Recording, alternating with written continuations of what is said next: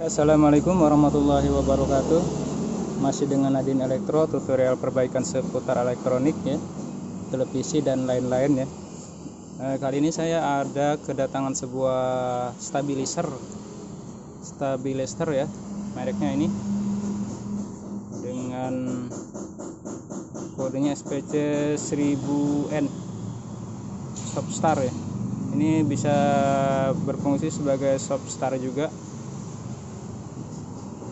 jadi katanya ini untuk di sini tidak berfungsi ya colokan di sininya. Tidak ada yang berfungsi. Oke saya coba colokan dulu untuk inputnya ya. Nah ini lampunya sudah nyala. Di on juga lampunya nyala. Oke karena saya tidak ada buat colokan lampu atau saya coba pakai ini ya pakai lampu senter ini pakai lampu center ini apa ini lampunya kalau saya colok ke sini ya saya colok langsung. Tidak pakai stabilizer dia nyala ya. Oke sekarang saya colok lewat sini yang dua-dua ya. Ini jangan yang satu-satu. Kita colok di yang dua-dua. Ternyata memang tidak nyala ya. Iya benar tidak nyala. Kemudian untuk cara tes yang kedua yaitu menggunakan multitester ya. Bisa dengan multitester digital kita posisikan pada AC pol ya di sini. AC pol kemudian dicolok ini colokannya ke dua-duanya boleh bolak-balik. Ternyata memang kosong pol kemudian yang di dua-duanya sama ya cuman ada terukur beberapa pol 27 pol yang seharusnya 20 220 ya ternyata benar kosong pol. Oke selanjutnya saya cabut dulu colokannya. Sebelum kita bongkar mungkin kita buka dulu untuk ini pushnya ini ada dua buah push ini yang 10 ampere ini yang 5 ampere ya. Oke ini saya buka yang 10 ampere dulu. Oke yang 10 ampere sudah saya buka kemudian kita lihat apakah dia putus. Bila tidak terlihat bisa dengan multitester ya untuk mengukur pushnya. Kita posisikan pada ini buzzer atau ohmmeter. Buzzer aja biar ada suaranya. Oke saya ukur dulu. Nah ternyata pushnya ini tidak putus. Yang 10 ampere tidak putus. Kita pasang lagi kita pasang lagi push yang 10 ampernya. Kemudian kita buka push yang ini yang satunya lagi yang 5 ampere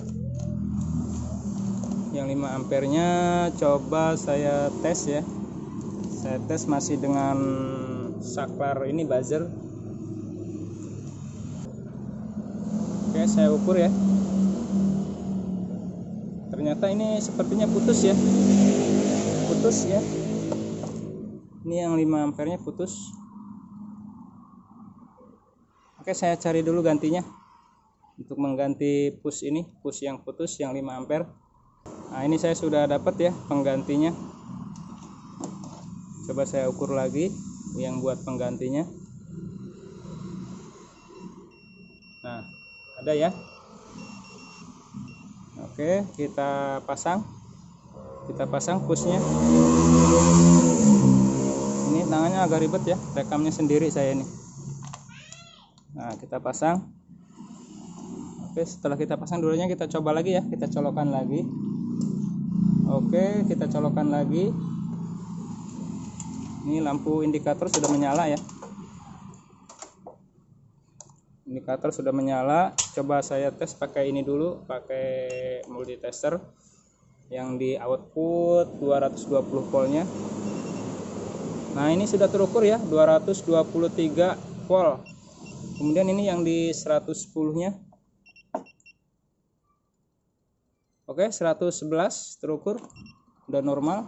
Sekarang coba saya pakai lampu ya. Pakai lampu ini lampu tembak ini. Nah udah nyala ya. Oke lampunya sudah nyala. Oke. Uh, berarti kerusakannya cuman di push ya mungkin nanti akan saya jelaskan ke yang punya. Sebelum dipakai lagi apa yang biasa dicolokkan di sini? Diperiksa mungkin ada yang short ya di uh, perangkat perangkat elektronik atau apa yang suka dipakai di sini mungkin ada yang short ya. Jadi menyebabkan ini pushnya terputus. Oke sekian terima kasih. Tutorial ini perbaikan stabilizer yang mati ya mati kalau lampu indikatornya nyala tapi dicolokan di sini tidak ada reaksi alias output di 22 dan satu-satunya kosong volt. Akhir kata dari saya Nadine Elektro Waalaikumsalam warahmatullahi wabarakatuh. Sukses selalu